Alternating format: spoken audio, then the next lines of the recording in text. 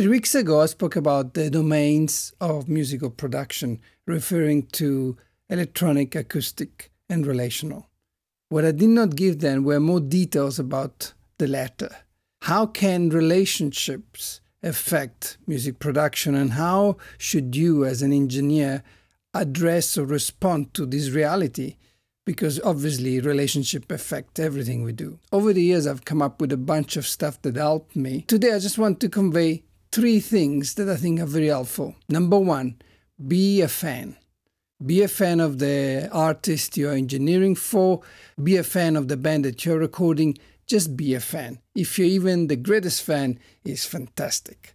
Sometimes you end up doing sound or recording or working in productions that you're not particularly fond of or you don't relate so much. Sometimes you work with people that know much less than you do from a musical or production point of view. It is easy in those occasions to belittle them, but that attitude does not help you, nor does it help the production. Be a fan. When you are engineering for that band, for that artist, they are the greatest thing under the sun. Focus on the things that those guys are doing well. The note they hit well and tell them about it. The groove in that passage, that note in that solo. Just focus on the stuff that worked and tell them about it. If they know you're a fan, you are going to enjoy an incredible production. Number two, educate, don't criticize. When you criticize, you elevate yourself above the people you're working with, giving the idea that you know much better than everybody else. You might, but then educate.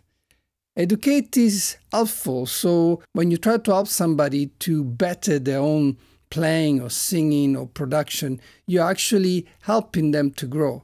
When an artist or a musician sees that, they respond very well to it. So don't be the one that knows it all and call the shots because without you, the production will go flat. Educate. Help them people understand what they're doing wrong. They will be better off because of it and you will have a better production in your hand. Thirdly, communicate clearly. Communication is at the basis of any relationship. Any type of relationship to function well needs communication. Learn to communicate clearly, then your notes and your questions will be understood and the production will benefit from it. The bottom line is this when you guard the relationships involved in a production, the production benefits from it.